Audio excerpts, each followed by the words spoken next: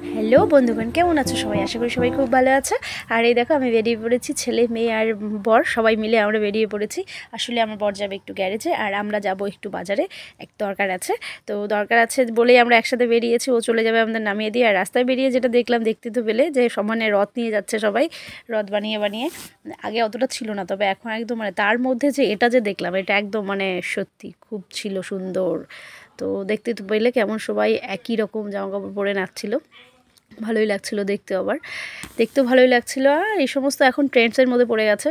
তো যে যাই করুক, আমাদের আর কি, আমাদের মজা দিয়ে কথা। তো আমাদের নামিয়ে দিয়ে চলে গেছে আর রাস্তায় প্রচণ্ড ভিড় ছিল, কারণ এখানে রথ নিয়ে যাচ্ছিল।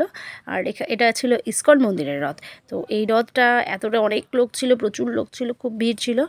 তো আমরা এই ভিড়ে ফেসে গেছিলাম, তো আমাদের খুব দেরি হয়ে যাচ্ছে এদিকে। কারণ আজকে আমাদের বাড়ি যেতে হবে তাড়াতাড়ি, আর আমাদের বাড়িতে আজকে গেস্ট আসবে, তো গিয়ে আবার রান্নাবান্না করতে হবে। তো কোনো মতে আমাদের কাজ ছেড়ে আমরা বেরিয়ে পড়েছি আর বাড়িও চলে এসেছি। আর এসে এই যে মাছ, ইলিশ মাছ, মাংস। তো এদিকে এটা হচ্ছে তেল। অ্যাকচুয়ালি এটা মাটন ছিল, তবু তেল ছিল আর কি। তো ইলিশ মাছটা রান্না করতে হবে, আর ওদিকে মাটনটাও করতে হবে। আমি সর্ষে বাটা দিয়ে ইলিশটা করব। তাই পাটাতে সর্ষে নিয়ে নিয়েছে, আর যে লঙ্কা। লঙ্কাগুলো একদম ঝাল নেই, আর বর্ষাকাল যা লঙ্কার দাম মানে কি বলব আর।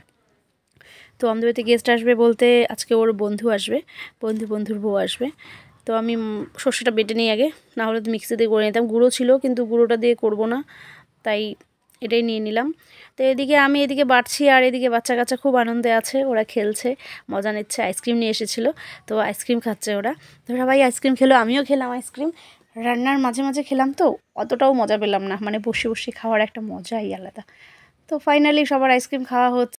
আর আমাদের কল্পনা চলে এসেছে মাংস স্পেশালিস্ট। কি করে? মাংসটা রান্না করবে। ও আর বোন কি করে? মশলা বাটে, লঙ্কা। মা, কি সুন্দর। যাই হোক, আবার আজকে রেস্ট আছে। দাদা রাতেগুলো বোন থাকলে বেশ সুবিধাই হয়। আর রান্নাবান্না শেষ, আমাদের খাওয়া দাওয়াও শুরু। দেখো, আমাদের ডাল পড়ে গেছে। মানে ডালটা দিতে গিয়ে মানে অনেকটা দূরে ছিল, তো উপর হয়ে পড়ে যাওয়ার ফলে ডালটা আমাদের পড়ে গেছে। তো সবাই মিলে আমরা খেতে বসেছি। আমিও বাদ দিইনি, কারণ একসাথে খাওয়ার মজাই আলাদা।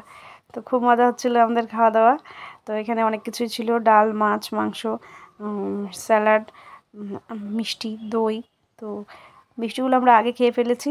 এখনও আছে মিষ্টি, কিন্তু কেউ খাবে না। আর কীভাবে ডালটা পড়ে আছে। তো গুড নাইট সবাইকে। সবাই ভালো থাকবে।